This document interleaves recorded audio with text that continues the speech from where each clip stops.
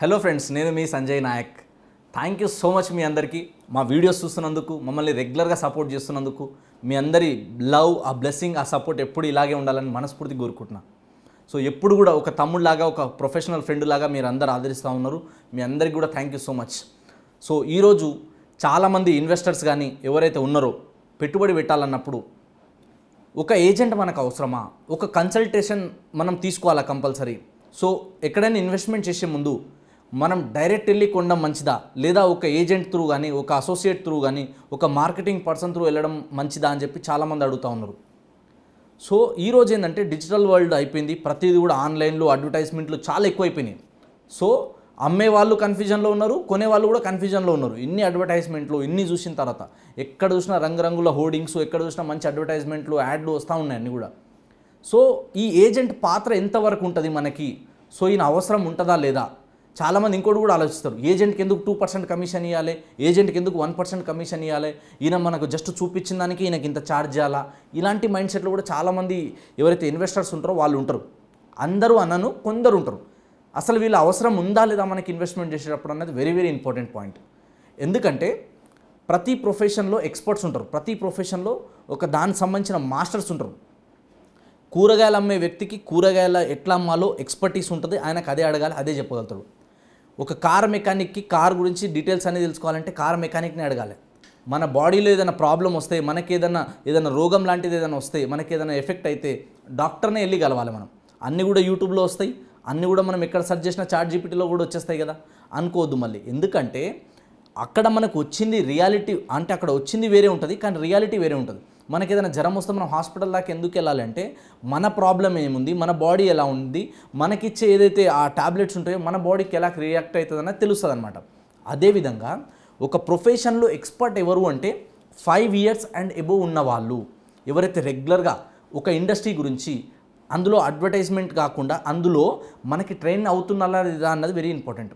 ఇప్పుడు రెగ్యులర్గా ఒక ప్రొఫెషన్లో ఉన్న వ్యక్తి ఆ ప్రొఫెషన్ రిలేటెడ్ ఎంత అప్డేటెడ్ ఉన్నది వెరీ వెరీ ఇంపార్టెంట్ మీరు మీ మీ ప్రొఫెషన్లో యు ఆర్ ద కింగ్ మీరు మీ మీ ప్రొఫెషన్లో ఎక్స్పర్ట్స్ కానీ రియల్ ఎస్టేట్కి వచ్చేసరికి అది టోటల్లీ మీకు సంబంధం లేని సబ్జెక్ట్ కాబట్టి మీకు ఎంత నాలెడ్జ్ ఉన్నా బేసిక్ నాలెడ్జ్ ఉంటుంది కానీ ఇన్డెప్త్ నాలెడ్జ్ అనేది ఉండదు. ఎందుకంటే మనం కూడా అన్నిట్లలో మనం దూరలేం మనం. డాక్టర్ అవ్వలేము ఇంజనీరు లాయరు అన్నిట్లో మనం పోలేము ఏదైనా ఒక డిగ్రీలోనే మాస్టర్ చేయగలుగుతాం. అలాగే రియల్ ఎస్టేట్లో కూడా ఏంటంటే నేను ఎందుకు దీన్ని స్ట్రెస్ చేసి చెప్తున్నా అంటే ఒక ఎక్స్పర్ట్ ఉంటే మంచిది. ఎందుకు అంటే మీ బడ్జెట్కి తగ్గట్టు మీ మైండ్ సెట్కి తగ్గట్టు మీ పర్పస్కి తగ్గట్టు వాళ్ళు వాళ్ళు మీకు మంచి మంచి ప్రాజెక్ట్ సజెస్ట్ చేయగలుగుతారు మంచి లొకేషన్ సజెస్ట్ చేయగలుగుతారు. ఇంకొకటి ఏంటంటే అక్కడ ఎంత వాల్యూ పెట్టొచ్చు మనం ఎంతవరకు పెడితే సేఫ్ ఉంటుంది ఎక్కడ కొంటే సేఫ్ ఉంటుంది మనం పలానా ఒక డెవలపర్ దగ్గర మనం ఇన్వెస్ట్మెంట్ చేస్తున్నామంటే ఆ బిల్డర్ దగ్గర కానీ డెవలపర్ దగ్గర కానీ కొనాలా వద్దా? ఇవన్నీ కూడా వాళ్ళు సజెస్ట్ చేయగలుగుతారు. దీని తర్వాత ఏంటంటే మీకు సైట్ విజిట్ చేయించేటప్పుడు మీకు దగ్గరుండి సైట్కి తీసుకెళ్ళడం అక్కడ డెవలప్మెంట్స్ ఏమున్నాయన్నది చెప్పడం. సో వాళ్ళు ఇంతకుముందు చేసిన డెవలప్మెంట్స్ కానీ వాళ్ళు ఇంతకుముందు చేసిన సేల్స్ కానీ అందులో నుంచి రిటర్న్స్ వచ్చిన వాళ్ళు కానీ చాలా ఉంటాయి. చాలామంది ఏమనుకుంటారు అంటే ఓన్లీ రివ్యూలే అనుకుంటారు. చాలామంది కస్టమర్స్ రివ్యూ ఇవ్వని వాళ్ళు కూడా ఉంటారు. సో అలాంటి వాళ్ళ దగ్గర కూడా వాళ్ళు చూసిన ఎక్స్పీరియన్స్ వేరే ఉంటుంది. సో వా అవన్నీ కూడా మీకు యూజ్ అవుతాయి. దాని తర్వాత రిజిస్ట్రేషన్ ప్రాసెస్ అనేది చాలా ఇంపార్టెంట్ సో రిజిస్ట్రేషన్ ప్రాసెస్ టైంలో కూడా వాళ్ళు దగ్గరుండి చూసుకోవడం సో మీకు అన్ని రకాలుగా వాళ్ళు బెనిఫిట్ చేయడం సో మార్కెట్ వాల్యూ ఎంత ఉంది ఎవరెవరికి ఎంత డబ్బులు ఇవ్వాలి దీనికి ఎంత ఖర్చు అవుతుంది ఇవన్నీ కూడా. అదేవిధంగా ఏంటంటే మీరు కొనే వ్యక్తి లేదా అమ్మే వ్యక్తి అయినప్పుడు లేదా కొనే వ్యక్తి లేదా అమ్మే వ్యక్తి ఉన్నప్పుడు ఇద్దరిని కలపడం కానీ దగ్గరుండి సైట్ విజిట్ తీసుకెళ్ళడం కానీ సో మీకు ఒక రేట్కి నెగోషియేట్ చేయడానికి కానీ అన్ని రకాలుగా ఏజెంట్ అనేది పనికొస్తారనమాట ఇంకొక ఇంపార్టెంట్ పాయింట్ ఏంటంటే లీగల్ విషయాలలో మీకు హెడ్ఏకే ఉండదు అసలు.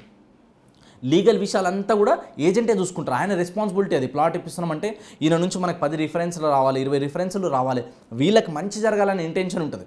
చాలామంది ఏమనుకుంటారు అంటే ఈయన కమిషన్ కోసమే చేస్తున్నాను అంటారు. ఆయనకు వచ్చే కమిషన్ ఇంత ఉంటుంది అంతే వన్ పర్సెంట్ టూ పర్సెంట్. దాన్ని భూతద్దం పెట్టి చూడొద్దు మనం. ఎందుకంటే ఏది కూడా ఫ్రీగా ఏది రాదు. ఎవరు కూడా ఫ్రీగా చేయరు. ఎందుకంటే వాళ్ళు ఆ ఇండస్ట్రీలో చాలా ఇన్వెస్ట్మెంట్ చేస్తారు. నేను పర్టికులర్లీ చూసిన కాబట్టి నాకు తెలుసు. నేను కూడా ఎవ్రీ వీక్ దాని మీద ఎన్నో వేల రూపాయలు ఖర్చు చేస్తున్నాం మేము కూడా. ఎందుకంటే పర్టికులర్ ఒక సబ్జెక్ట్లో మాస్టర్ అవ్వాలి. మన దగ్గర ఏ కస్టమర్ వచ్చినా ఆయనను క్లోజ్ చేయగలగాలి. ఆయనను సాటిస్ఫై చేయగలగాలి. ఆయన ఏ క్వశ్చన్ అడిగినా ఆయనను క్లియర్గా చెప్పగలగాలంటే మేము దాని రిలేటెడ్ ట్రైన్ ట్రైనింగ్స్ తీసుకుంటాం. దాని రిలేటెడ్ అవేర్నెస్ ఆర్టికల్స్ చదవడము రెగ్యులర్గా మీటింగ్స్కి ట్రైనింగ్స్కి అటెండ్ అవ్వడము మార్కెట్ రీసెర్చ్ చేయడం గ్రౌండ్ లెవెల్లో తిరగడం ఇవన్నీ ఖర్చులు ఉంటాయి. చాలామంది కస్టమర్ వస్తారు చూస్తారు పోతారు. మళ్ళీ ఆ ఖర్చు అంతా ఏజెంట్ మీదనే బడ్డని పడుతుంది కదా? అవి ఆలోచించారు చాలామంది. సో అవన్నీ కూడా ఏజెంట్కి ఒక అసోసియేట్కి చాలా ఎఫెక్ట్ అవుతుంది. సో చిన్న చిన్నగా కనిపించదు కానీ ఆయన మినిమం మెయింటెనెన్స్ కూడా ఉంటుంది మళ్ళీ. సో తీసుకెళ్ళాలి పెట్రోల్ ఖర్చులు అక్కడ వాళ్ళ మీకు వచ్చేటప్పుడు వాళ్ళకి మీ ఏవైతే గ్రీటింగ్స్ ఉంటాయో ఏవైతే వాళ్ళ ఫుడ్ అరేంజ్మెంట్ చేయడం కానీ ఇట్లా చిన్న చిన్నవి ఉంటాయి. వాళ్ళు అడగలేరు నోటు తెరిచి ఇవ్వండి అని చెప్పేసి. సో ఇవన్నీ మనం అర్థం చేసుకోవాలి. కాబట్టి ఒక ప్రొఫెషనల్ ఫ్రెండ్ లాగా ఒక తమ్ముళ్ళలాగా నేను ఏం చెప్తా అంటే ఒక ఏజెంట్ ఉంటే లీగల్ పరంగా కావచ్చు మీకు డీలింగ్ పరంగా కావచ్చు అన్ని రకాలుగా చాలా వరకు ఏజెంట్ ఉంటే బెనిఫిట్ అవుతుంది. అండ్ ఏజెంట్ ఉంటే ఒకలాగా మాట్లాడతారు ఎవరైనా అమ్మేవాళ్ళు కానీ కొనేవాళ్ళు కానీ ఏజెంట్ లేకుండా డైరెక్ట్ వెళ్తే ఇంకోలా మాట్లాడతారు. సో ఈ డిఫరెన్స్ మీకు తెలీదు. సో అదొకటి చాలా ఇంపార్టెంట్ పాయింట్ కాబట్టి ఎప్పుడైనా కానీ ఏజెంట్ త్రూ అసోసియేట్ త్రూ వెళ్తే మనకి కొంతవరకు ఏంటంటే ఏదున్నా మనకు ట్రాన్స్పరెన్సీగా చెప్పడానికి కానీ అన్ని రకాలుగా బెనిఫిట్ చేయడానికి కానీ ఏదన్నా మనం ఓపెన్గా అడగాలంటే డైరెక్ట్ మనం కంపెనీని అడగకపోవచ్చు. డైరెక్ట్ ఎవరైతే బిల్డర్ ఉన్నారో ఆయనని అడగకపోవచ్చు. కానీ ఒక ఏజెంట్ ఉంటే ఆయనకు మనం అడిగితే ఆయన మనకు సజెషన్ ఇస్తారు. చూడు బాబు ఈ సేల్ మంచిగా అయితే ఇందులో నాకు క్లియర్గా ఉంటుంది బాగుంటుంది అంటే ఖచ్చితంగా నేను తీసుకుంటాము. నీకు రెండు రూపాయలు లాభం అవుతుంది. కావాలంటే నా నుంచి గుడ్ విల్ మీద ఇంకో రూపాయి ఎక్కువిస్తా అన్నట్టు చెప్తే కూడా వాళ్ళు అన్నీ కూడా చెప్తారు మీకు. కాబట్టి ఇవన్నీ దృష్టిలో పెట్టుకొని ఎప్పుడైనా కానీ ఏజెంట్ రోల్ అనేది వెరీ వెరీ ఇంపార్టెంట్. ఎక్స్పర్ట్స్ నుంచి తెలుసుకుంటేనే వాళ్ళు మీ సపోర్ట్ తీసుకోగలిగితే ఫాస్ట్గా వెళ్ళిపోతాం మనం. అన్నీ సొంతంగా నేనే నేర్చుకోవాలి అన్నీ నేనే చేయాలంటే మీరు ఒక ఇండస్ట్రీలో ఫైవ్ ఇయర్స్ కంటే తక్కువ ఉంటే మీరు అందులో మొత్తం మాస్టర్ అవ్వలేరు. ఏది చెప్పినా ఈవెన్ నేను కూడా వీడియోలలో అన్ని ఓపెన్గా విషయాలు చెప్పలేను. నాకు కొన్ని లిమిటేషన్స్ ఉంటాయి కాబట్టి నేను కొన్ని విషయాలు మాత్రమే చెప్తున్నా. సో మీరు రియల్ ఎస్టేట్లో ఎక్కడ ఇన్వెస్ట్మెంట్ చేయాలన్నా ఎలాంటి డాక్యుమెంటేషన్ చూడాలన్నా ఎలాంటి ఏరియాలో ఇన్వెస్ట్మెంట్ చేస్తే రిటర్న్ ఆన్ ఇన్వెస్ట్మెంట్ బాగుంటుంది.